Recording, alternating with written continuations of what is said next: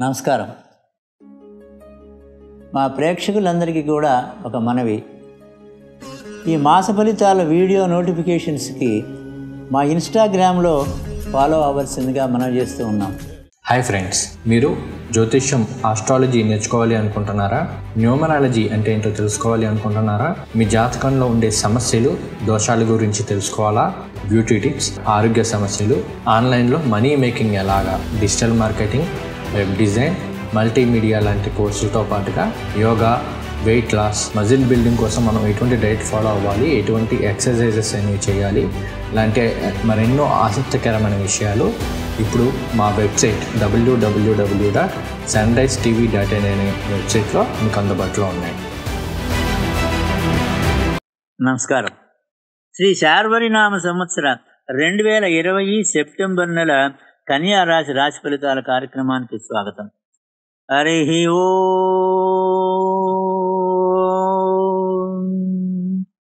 శ్రీ గురుభ్యో నమ.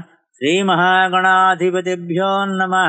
వాగ్దేవి మహాసరస్వత్యై నమ. హరి ఓ. రెండు వేల ఇరవై సెప్టెంబర్ నెల కన్యా రాశి రాశి ఫలితములు. ధనకారకుడు విద్యాకారకుడు వాక్కారకుడు కుటుంబకారకుడు గృహకారకుడు అయినటువంటి వారు ఎవరండి? గురువు గారు ఇవన్నీ మనకి పొద్దున్న లేస్తే కావాల్సినవే. మనం పొద్దున్న లేస్తే వీటి గురించే తాపత్రయపడేది. అసలు మనం సంపాదించడానికి కానీ దేనిక వీటన్నింటికి కూడా దేనికోసం? ఇదిగో వీటి వీటి కోసమే.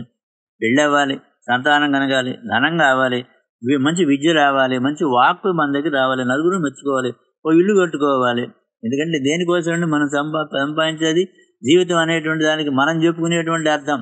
అసలు అర్థం వేరు. అది ఏమిటనమాట? ఇవో ఇవే. వీటన్నింటినీ లౌకికంగా ఇచ్చేటువంటి వాడు గురువుగారు. ఆ గురువు గారు ఇప్పుడు సంచారం ఎక్కడ చేస్తున్నారు అనమాట గురువు యొక్క సంచారం ధనుర్రాశిలో సంచారం చేస్తూ ఉన్నాడు.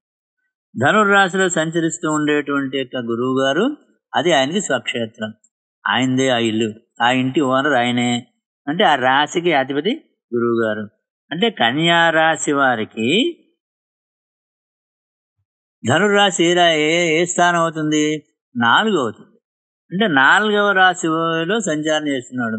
నాలుగవ రాశి వాడు నాలుగవ రాశిలోనే సంచారం చేస్తూ ఉన్నాడు. ఇది గొప్ప విశేషం. దీన్ని మనం ఎప్పుడు కూడా పట్టుకోవాలి.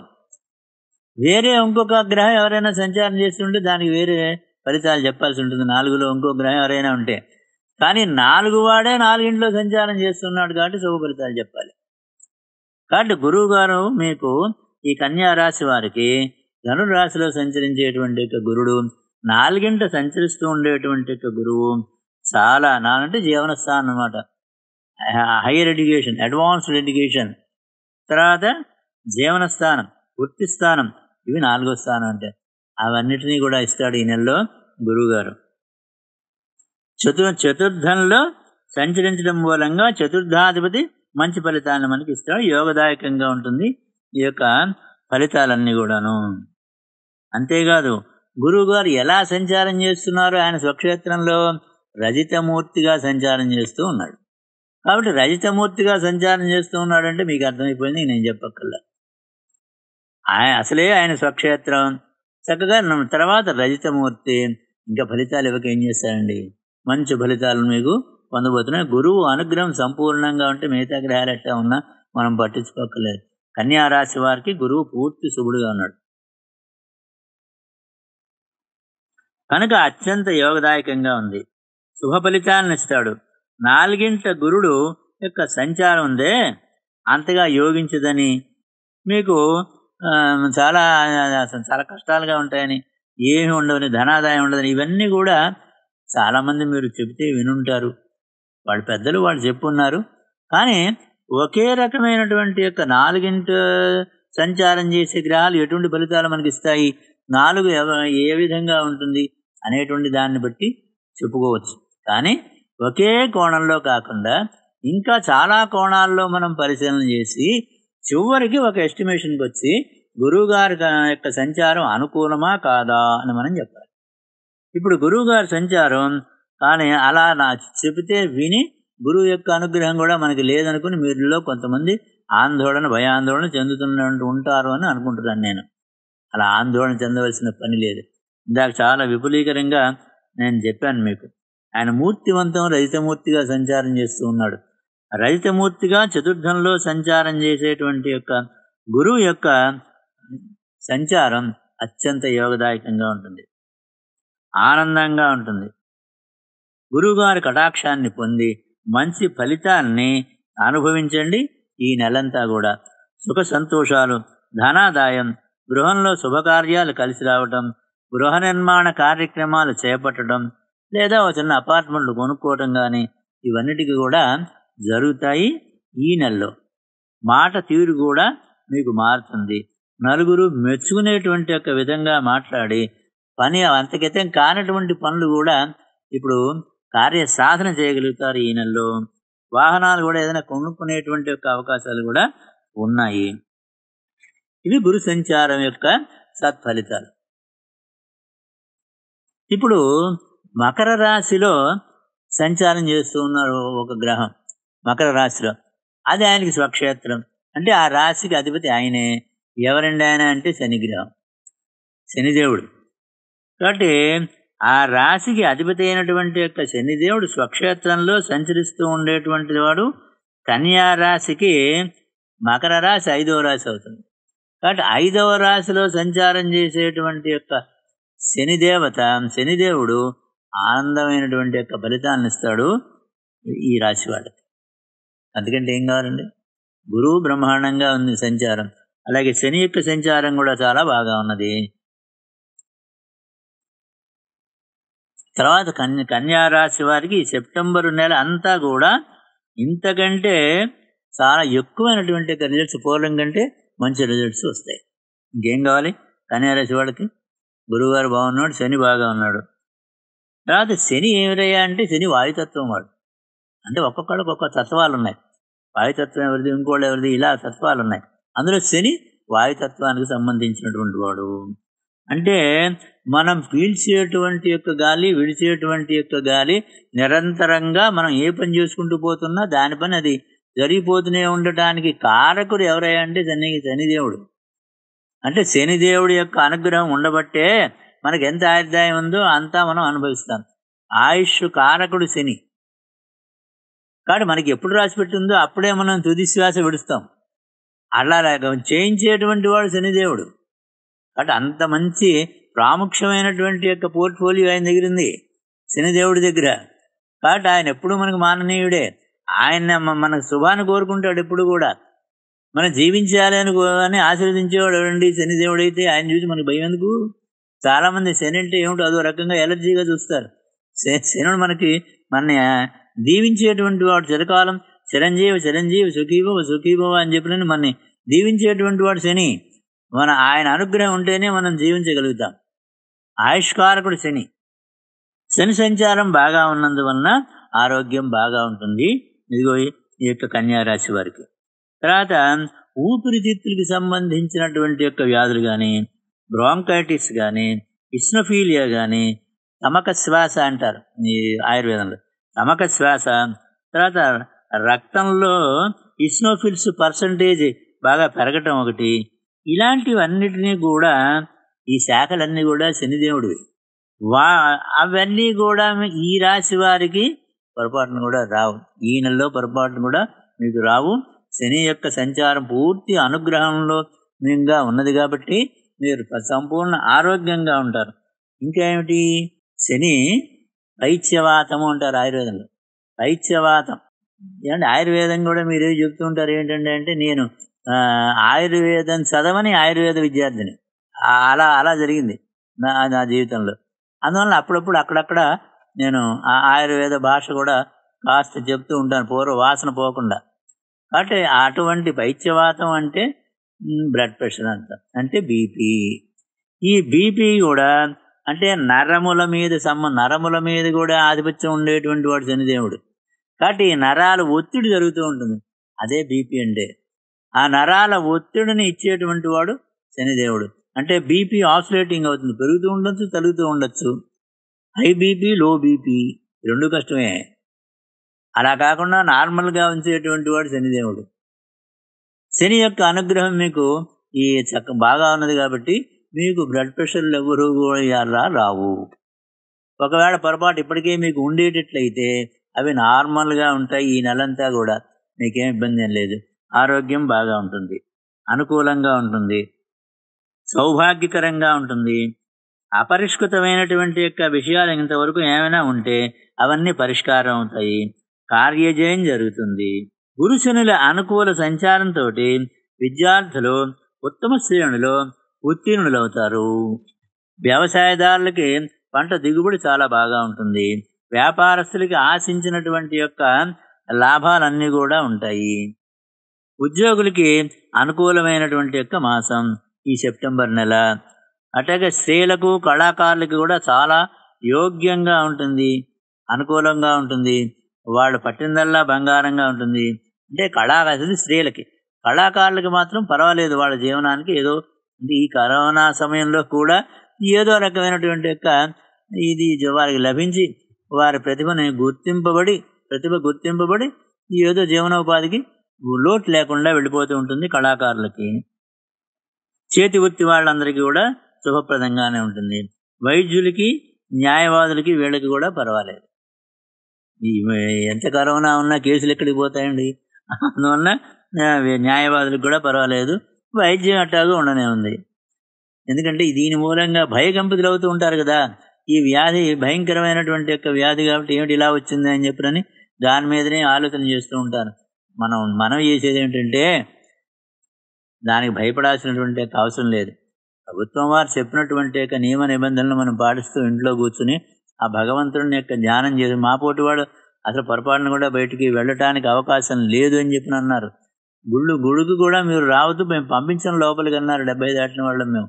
అందువలన ఆ ఇంట్లోనే కూర్చుని ఆ భగవద్ధ్యానం చేసి అందరి యొక్క యోగక్షేమం కోసం ఏదైనా మనకు వచ్చినటువంటి యొక్క సూత్రాలు కానీ ఏదో వేద పఠనం కానీ అలాంటివి వస్తే అవి చదువుకుంటూ సర్వే జనా సుగుణో భవంతు అని అందరూ ఆరోగ్యంగా ఉండాలని ఈ కరోనా మహమ్మారి అతి త్వరలో అతి త్వరలో అతి శీఘ్రంగా వెళ్ళిపోవాలి అని చెప్పని ప్రార్థన చేస్తూ ఉంటే అన్నీ బాగానే ఉంటాయి. భయమేం లేదు. ఈశ్వరుని నమ్ముకున్న వాడికి భయమే ఉంది. కాబట్టి వాడినే నమ్ముకోండి. చెప్పడం తేలిక. కానీ ఆచరణలో పెట్టడం చాలా కష్టం. ఈ చెప్పేవాడికి నాకైనా ఒకప్పుడు భయం ఉండొచ్చు. కానీ ఉండకూడదు. ఆ పరమేశ్వరుని ప్రార్థన చేస్తే భయం పోతుంది. మీరు కావాలంటే సాయంత్రం పూట ధ్యాన శ్లోకాలు చదువుకోండి. విష్ణు సహస్రం ఇవన్నీ చెప్తుంటా కదా నేను అవి చదువుకోండి. అది చదువుకున్న తర్వాత మీరు లేచిన తర్వాత మీలో ఏ భయం ఉండదు. హనుమాన్ చాలీస చదువుకోండి ఏ భయం ఉండదు. కాబట్టి అలా డైవర్ట్ చేసుకుని మనస్సుని ఆనందంగా ఉండాలి. ఈ నెలలో సింహరాశిలోను కన్యారాశిలోను ఫస్ట్ హాఫ్ మొదటి పదిహేడు రోజులు సింహరాశిలోను తర్వాత కన్యారాశిలోను సంచారం చేస్తూ ఉంటాడు రవి. సింహరాశిలో అంటే ఇప్పుడు మనం చెప్పుకునేటువంటి యొక్క కన్యారాశికి సింహరాశి ఏ రాశి అవుతుంది? ఏ రాశి అయినప్పటికీ కూడా సింహరాశికి అధిపతి రవే కాబట్టి ఆయన స్వక్షేత్రంలో సంచారం చేస్తున్నాడు కాబట్టి బాగా ఉంటుంది ఆ సంచారం. కన్యారాశిలోకి వస్తాడు. కన్యారాశి స్వక్షేత్రం. ఈ రాశిలోకే వస్తున్నాడు రవి. మీ రాశికి అధిపతి బుధుడు. రవి రుద్రుడు కూడా మిత్రులు. కాబట్టి ఈ నెలంతా కూడా రవి యొక్క సంచారం బాగా ఉంటుంది అనుకూలంగా ఉంటుంది. తర్వాత మేషరాశిలో సంచారం చేస్తూ ఉంటారు కుజగ్రహం. అంటే కన్యారాశి వారికి ఇది ఏమవుతుందండి? అష్టమ స్థానం అవుతుంది. అష్టమ స్థానం అంటే ఆయుర్దాయ స్థానం ఆరోగ్య స్థానం. ఆరోగ్య స్థానంలో కుదురుంటే ఇంకేమిటండి? మా ఆరోగ్యం నా బంధం ఇంకేముంటుందని చెప్పనని చాలామంది భయపడతారు. భయపెట్టబడుతున్నారు. దాని గురించి మీరు భయాల్సిన చెందవలసిన పని లేదు. కన్యారాశి వారికి అష్టమాధిపతి కుజుడు. అష్టమాధిపతి అష్టమ స్థానంలో సంచారం చేస్తూ ఉన్నాడు. అందుకంటే ఏం కావాలండి? ఎవరింటో వాడు ఉన్నాడు? అష్టమాధిపతి అష్టమంలో ఉంటే అష్టమం బాగా ఉంటుంది. అంటే ఆయుర్దాయం బాగా ఉంటుంది. ఆరోగ్యం బాగా ఉంటుంది. శని మీకు పూర్తి సంపూర్ణ శుభుడుగా ఉన్నాడు. ఆరోగ్యం ఆయుష్ని కారకుడైన ఆరోగ్యాన్ని ఇచ్చేటువంటి వాడు రవి. ఆయుష్ కారకుడు శని. కాబట్టి ఆయుష్ ఉన్నది అంటే ఆరోగ్యంగానే ఉంది. ఆరోగ్యాన్ని ఇచ్చేటువంటి వాడు అష్టమ స్థానం ఆరోగ్య స్థానం. ఆరోగ్య స్థానంలో సంచరించేటువంటి వాడు కుజుడు. కన్యారాశి వారికి ఆరోగ్య అష్టమ స్థానం మేష మేషరాశి అయింది. మేషరాశికి అధిపతి కుజుడు.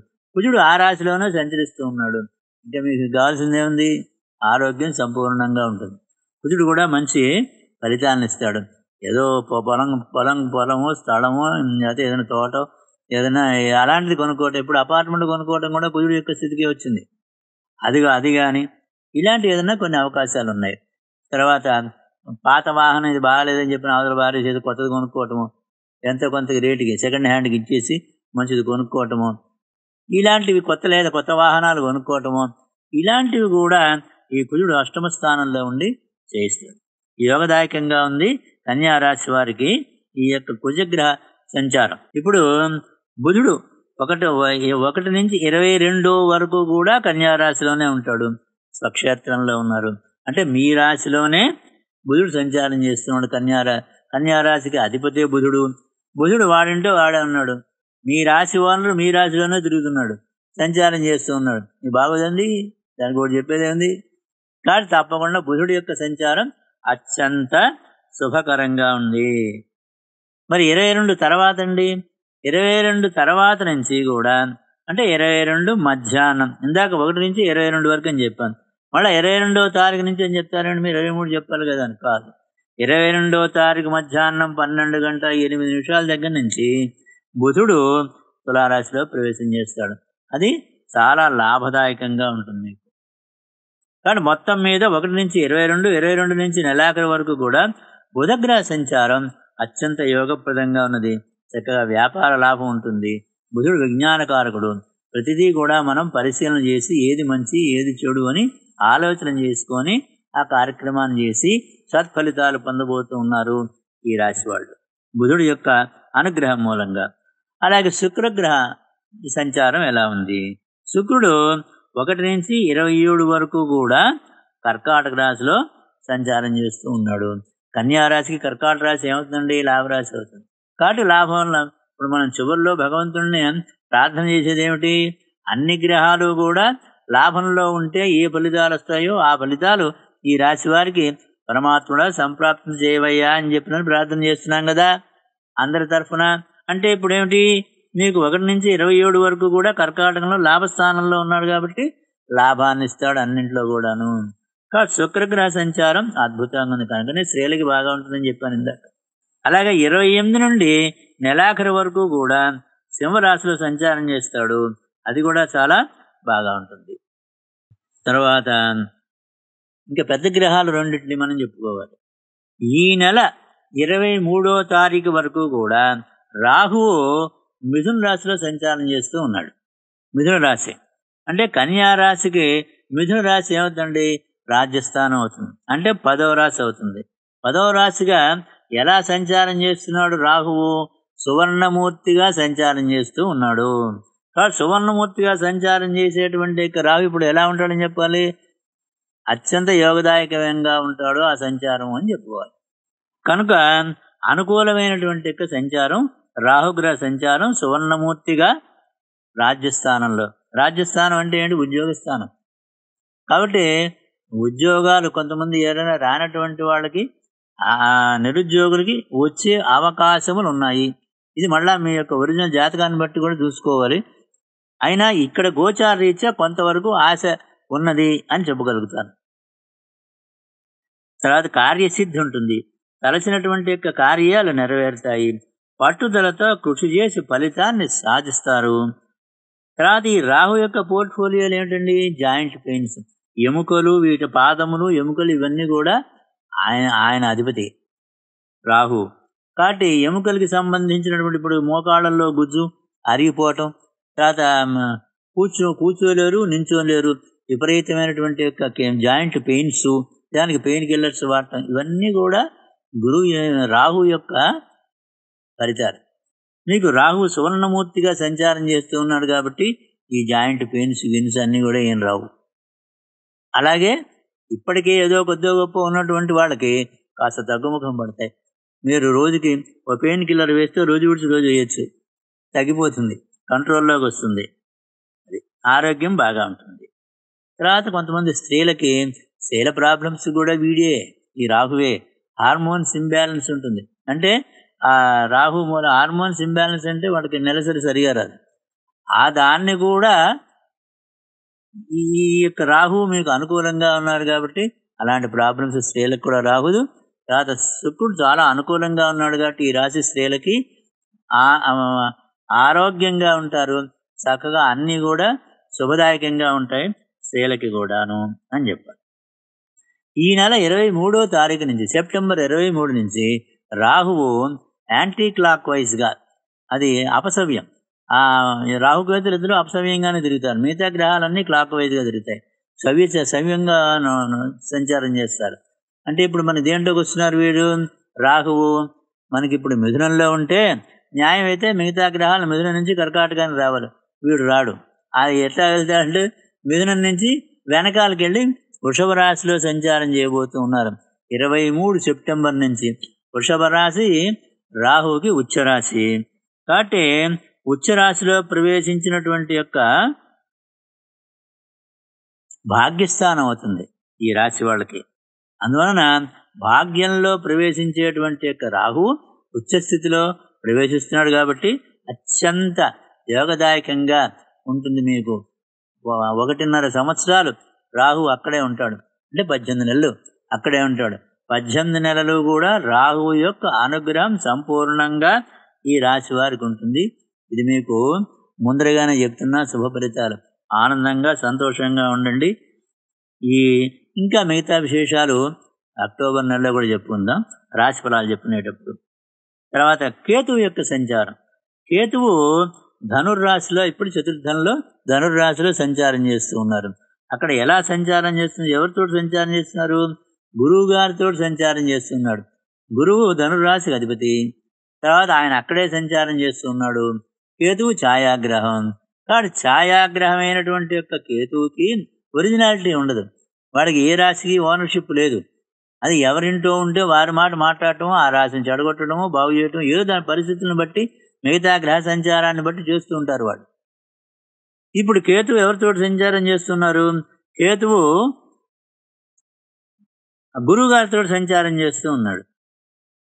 కాబట్టి ఆ గురు ఫలితాన్నే ఈ కేతు ఇస్తాడు. కాబట్టి కేతు యొక్క సంచారం ప్రస్తుతం ఇరవై మూడు వరకు కూడా చాలా బాగా. ఈ నెల ఇరవై మూడు తర్వాత రాహుకేతులు ఇప్పుడు ఒక రోజునే మారుతారు. రాహుకే ఇప్పుడు కేతువు అప్పుడు ఆయన కూడా యాంటీ క్లాక్ వైజ్ కదా. అందువలన ధనురాశిలో ఉండేవాడు వృశ్చిక రాశిలోకి వస్తాడు. వృశ్చిక రాశి కేతువుకి ఉచ్చరాశి కాబట్టి ఉచ్చరాశిలోకి వచ్చినటువంటి యొక్క కేతువు కన్యారాశి విక్రమ స్థానంలోకి వస్తూ అంటే ఆయన మూడవ మూడో రాశి అంటే అర్థం ఏమిటి? అది విక్రమ స్థానం సోదరుల యొక్క స్థానం. వాళ్ళకి కూడా బాగా ఉంటుంది మీ సోదరులకు కూడా. రేపు ఇరవై మూడు సెప్టెంబర్ దగ్గర నుంచి బాగుండాలని కోరుకుందాం. ఆనందములేగా ఆనందంగా ఉందాం వాళ్ళకి బాగా ఉంటుంది. మా కలిసి వారికి కలిసి వస్తుంది. మీకు సర్వత్రా విజయం విక్టరీ మూడో స్థానం. నాకి ఉచ్చ స్థితిలో కేతు రాబోతున్నాడు. సంవత్సరంన్నర పద్దెనిమిది నెలలు సుమారు అక్కడే ఉంటాడు. ఆనందదాయకంగా ఉండండి చక్కగా. ఇంకా మిగిలినటువంటి విశేషాలు వచ్చే నెల అక్టోబర్ నెల రాశి ఫలితముల కార్యక్రమంలో కూడా చెప్పుకుందాం విపులంగా చెప్పుకుందాం. ఇప్పుడు మాసాధిపతులు ఉత్తరా నక్షత్రానికి ఒకటి నుంచి పదిహేడు వరకు కూడా బుధుడు మాసాధిపతిగా ఉంటాడు. పద్దెనిమిది నుంచి నెలాఖరు వరకు కూడా శని మాసాధిపతిగా ఉంటాడు. ఆదిత్య హృదయ స్తోత్రం చదువుకోండి. తర్వాత విష్ణు సహస్రనామం చదువుకోండి. అలాగే శని స్తోత్రం చదువుకోండి. హస్త నక్షత్రం వారికి గురుడు ఒకటి నుంచి పదిహేడు వరకు మాసాధిపతి తర్వాత పద్దెనిమిది నుంచి నెలాఖరి వరకు కూడా కుజుడు మాసాధిపతి. కాబట్టి నా గురు స్తోత్రం చదువుకోండి లక్ష్మీ అష్టోత్రం చదువుకోండి సుబ్రహ్మణ్య భుజంగ స్తోత్రం చదువుకోండి ముప్పై మూడు శ్లోకాలు ఉంటాయి. తర్వాత చిత్తా నక్షత్రం వారికి చిత్తా నక్షత్రం వారికి మొదటి ఒకటి నుంచి పదిహేడు వరకు చంద్రుడు ఆ తర్వాత బుధుడు మాసాధిపతులుగా ఉన్నారు. మీరు ఆ సుబ్రహ్మణ్య భుజంగ స్తోత్రం ముప్పై మూడు శ్లోకాలు. సదాబాల రూపాపి విఘ్నాద్రిహంత్రి అని వస్తుంది. అది చదువుకోండి. ఆది శంకరాచార్యులు వారి భిక్ష మనకి అది మన కోసమే ఆయన రచించాడు మహానుభావుడు. తర్వాత లక్ష్మీ అష్టోత్తరం చదువుకోండి. ఎందుకు పెద్దవాడికి లక్ష్మీ అష్టోత్తరం అంటారు మీరు చంద్రుడు అనగానే అంటే లక్ష్మీ అష్టోత్తరంలో ఒక నామం ఉంది. చంద్ర సహోదరియే నమ అని ఉంటుంది చంద్రుడు యొక్క సహోదరి లక్ష్మీదేవి ఇద్దరు పాలసముద్రంలోంచి వచ్చారు. అందువలన ఆ అక్కగారిని పట్టుకుంటే ఆవిడని ఆరాధన చేస్తే ఆవిడని ఉపాసన చేస్తే చంద్రుడి యొక్క అనుగ్రహం మనకి లభిస్తుంది. అందుకు చంద్రుడు అనగానే లక్ష్మీదేవి చెప్తాం మేము. బుధుడికి విష్ణు సహస్రనామం చదువుకోండి. అన్నీ చక్కగా ఉంటాయి. అదృష్ట సంఖ్య ఐదు. ఒకటి మూడు ఆరు ఎనిమిది తేదీలు. ఆది బుధ గురు శుక్ర శనివారాలు కలిసి వస్తాయి వీరికి.